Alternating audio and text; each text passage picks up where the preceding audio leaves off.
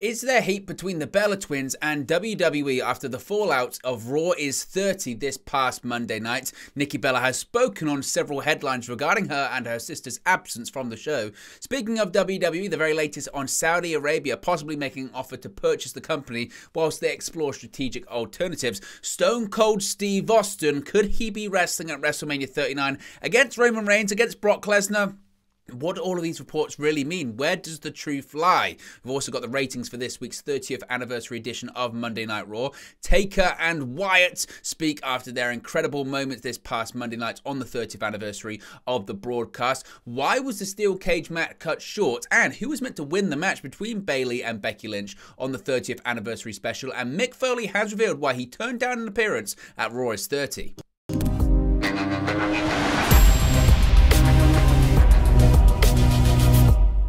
Hey guys, welcome back to Wrestling News 365. Hope everyone is doing very well. As always, there are plenty of news stories to get into in the world of world wrestling entertainment. Let's start off about some major heat possibly backstage between WWE as an entity, I guess now being headed up by Triple H in a creative sense, and WWE Hall of Famers, the Bella Twins. Of course, they were at one point advertised to appear Monday night on the Raw is 30 special, but they did not. Why didn't they? They've spoken out as to why, saying that there was no plans for them, talking about the lack of representation of the woman's evolution during Monday Night Raw's 30th anniversary special this week. It gets quite interesting. We've got quite a few clips here that we're going to share share with you throughout this show. And it seems that the Bella Twins and WWE may not be on the best terms coming out of this week's Raw 30th anniversary show.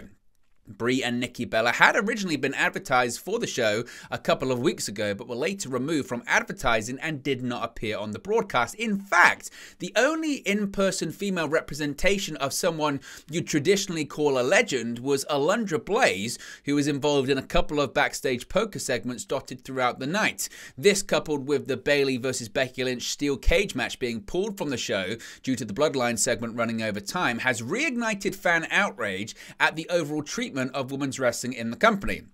It seems this is something that the Bellas picked up upon too, as during an Instagram live stream, they implied that they knew WWE wasn't going to spotlight a number of the women who had been involved in the women's evolution, including themselves, Mercedes Moné, Sasha Banks, and Saraya, formerly known as Paige in WWE. Brie specifically said there's a bunch of us they don't want to show. Now, we've actually got the clip of this, so before we get into the rest of the story, let's play what they had to say after the broadcast whilst explaining their absence from the Raw 30th anniversary special.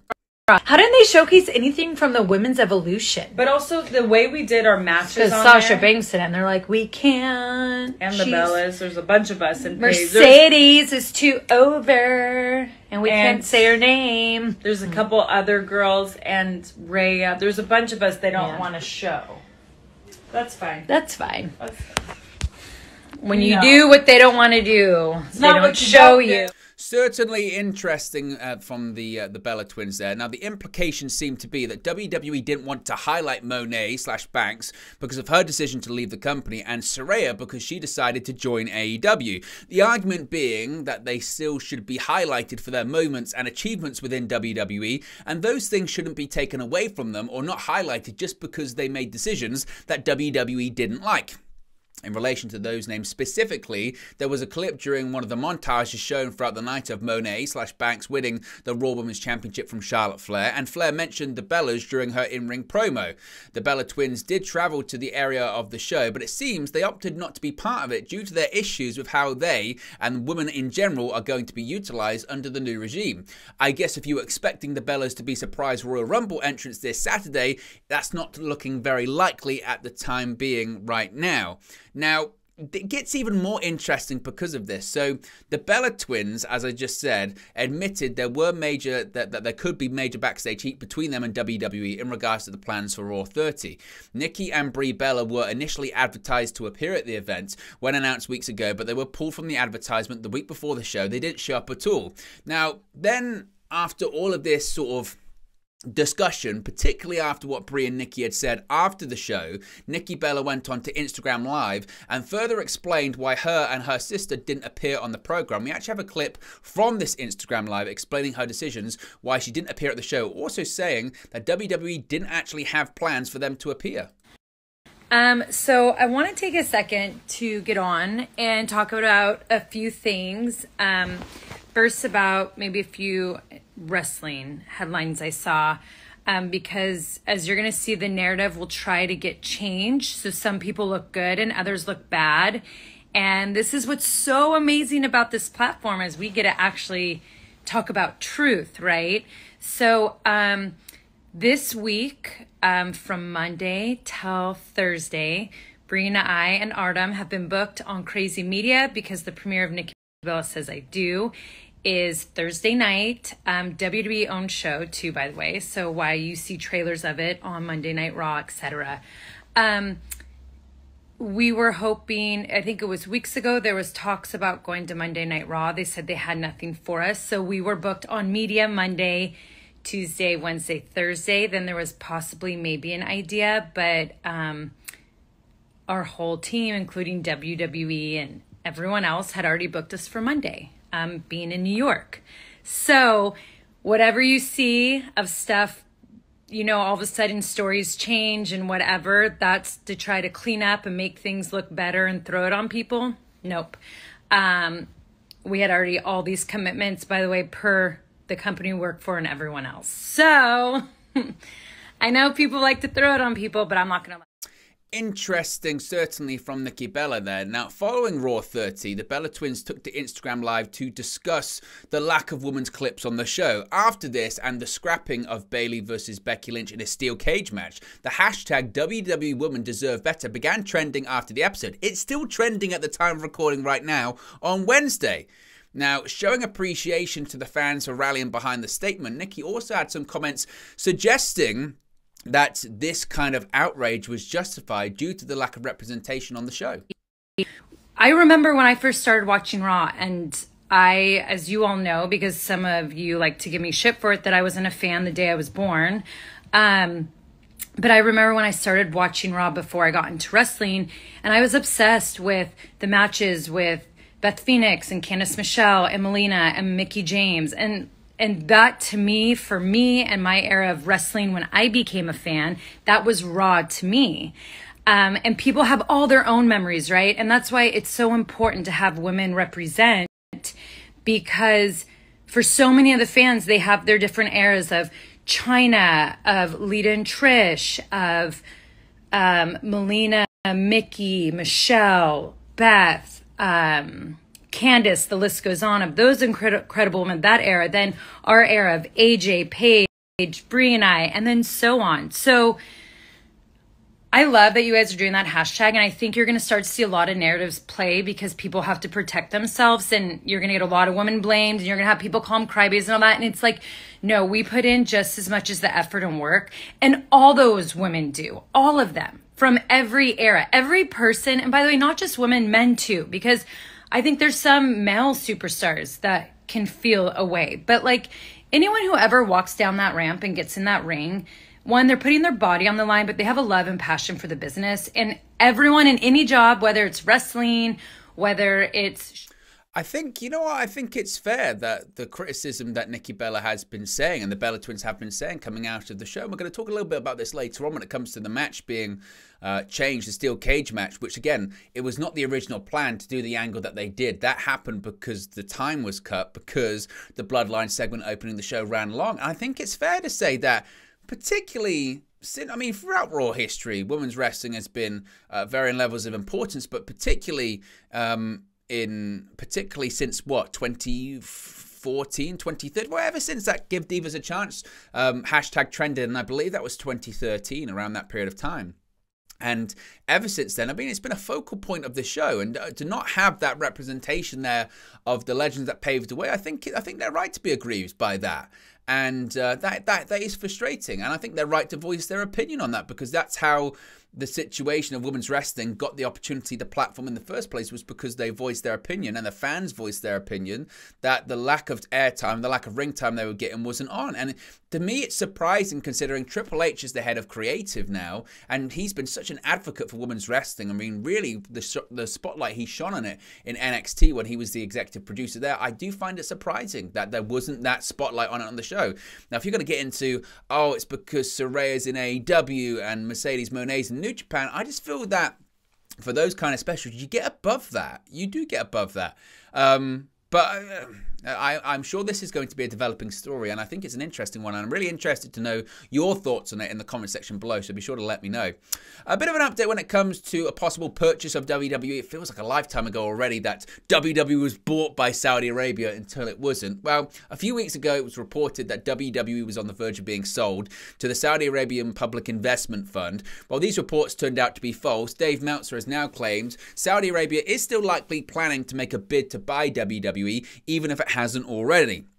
Speaking on the latest Wrestling Observer Radio, Meltzer explained, quotes, They tried to buy Formula One, they got turned down, but they offered just under $20 billion. The last time Formula One sold, it was 2016, and it was sold for, I think, $4.4 billion. So we're talking six years later, and they offered 20 billion, but Liberty, which owns it, would not sell it. So I so don't think they're not going to make a big, big, big bid for WWE, because they are. They have a deal similar to the WWE deal where they bring in the Formula One Grand Prix in Saudi Arabia every year, a $65 million deal. So they're willing to do business with them, but they were not willing to sell it. And WWE is looking to sell. So, you know, we'll see what happens. They were very, very serious about this one, and this was not a company that was for sale. They want to acquire something big, more than just the soccer team in Newcastle and Live Golf. They're looking for a big time, major mainstream media purchase right now, so WWE would fit into that role pretty easily.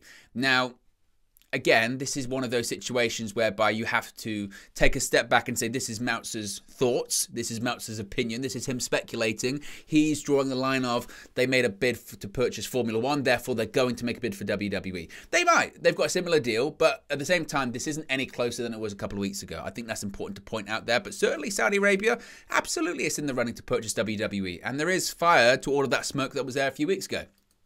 Let's talk about WrestleMania. Of course, Royal Rumble this coming is this coming weekend, which of course means WrestleMania season is on the horizon. And one name who definitely is being speculated about for a WrestleMania match, definitely training it seems like for WrestleMania match, is WWE Hall of Famer Stone Cold Steve Austin after making his in-ring return in the main event of Night One of WrestleMania last year.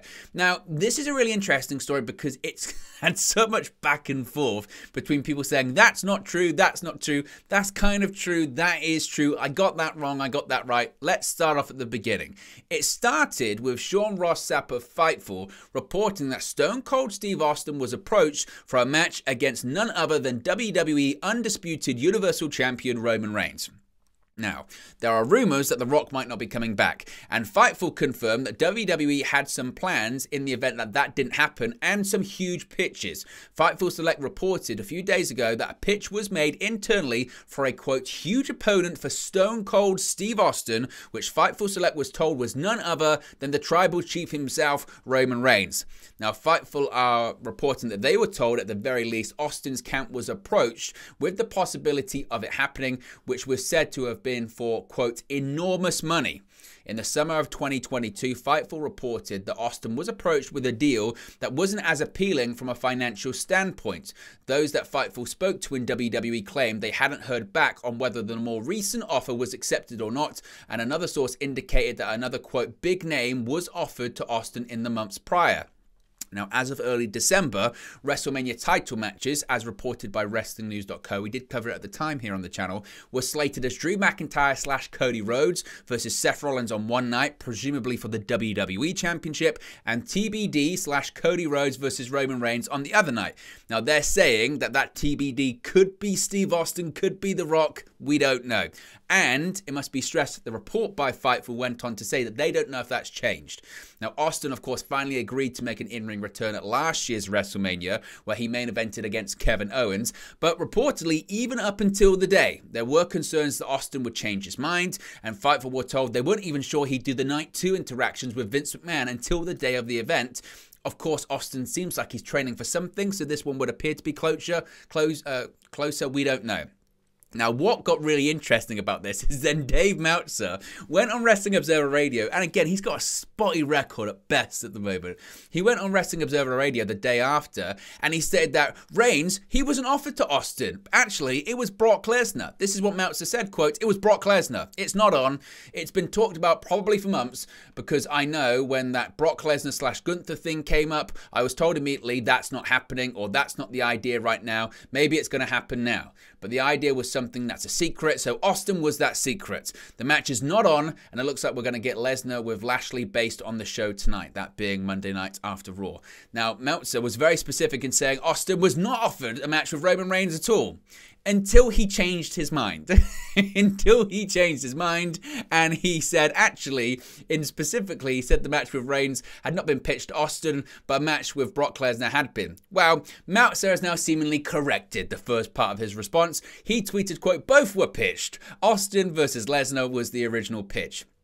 Now, it's worth pointing out that Fightful's report of the Austin versus Reigns pitch did also state, quote, another source indicated that another big name was offered to Austin in the months prior. So that would suggest it was Brock Lesnar in the months prior, which is what Fightful said, which is what Sean Ross Sapp said. He said a big name was offered. Austin wasn't happy with the money. It's not happening. But more recently, he's been offered Roman Reigns for a lot more money, so it's more likely to happen. That's what the report said. I mean, reading comprehension, Dave. Come on, figure it out. Now, for me, I saw the response to this and found it quite surprising because one, people said it's terrible. How can they do Stone Cold Steve Austin versus Roman Reigns? Where's the story? There's no story. At least when it's Roman Reigns versus The Rock in a part time, there's a story there. What story does there need to be? You're talking about the biggest box office draw in WWE history, arguably one of, if not the biggest WWE superstar of all time that's wrestled one match in 20 years. That was last year. Retired at WrestleMania 19 against The Rock. He wrestled, kind of, against Kevin Owens. And he could wrestle for the undisputed WWE Universal Championship against the guy who hasn't lost a match since 2019 in singles competition, the guy that's been champion since 2020. That's a big story. That's all the story you need. That's that could be one of the biggest, if not the biggest, WrestleMania main event of all time. Talk about a clash of generations: the king of the Attitude Era versus the king of today. Oh, what a perfect story! Yes, it doesn't have the sort of parallels that Roman Reigns versus The Rock has, head of the table tribal chief, but The Rock ain't going to wrestle at WrestleMania. So I tell you what, Stone Cold Steve Austin ain't a bad alternative. You kidding me? So I, I, I, have no problem with that. It's a massive match. I'd much rather have it at WrestleMania than in Saudi Arabia. You kidding me?